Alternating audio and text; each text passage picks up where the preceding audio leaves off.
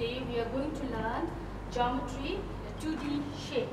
Now, these are the 2D shapes. This is a rectangle, a triangle, a square, a circle, a pentagon and a hexagon. Now we are going to see how many sides and corners they have got.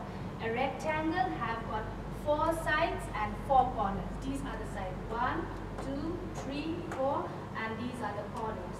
One, two, three, four. Now, triangle. Triangle have got three sides. That is one, two, three, and three corners. That is here. These are the corners. One, two, and three. Now, we are going to see the square. The square is same like a rectangle. The square have got also four sides and four corners. One, two, three, four, and one, two, three, four.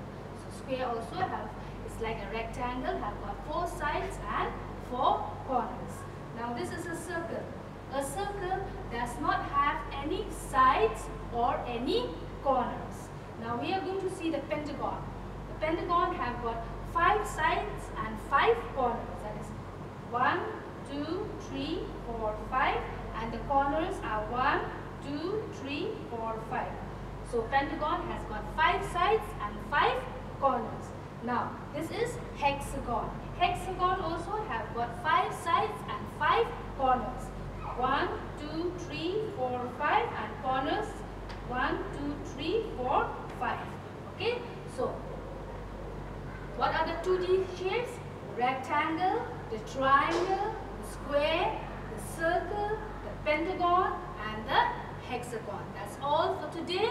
I'll see you in the next class. Thank you.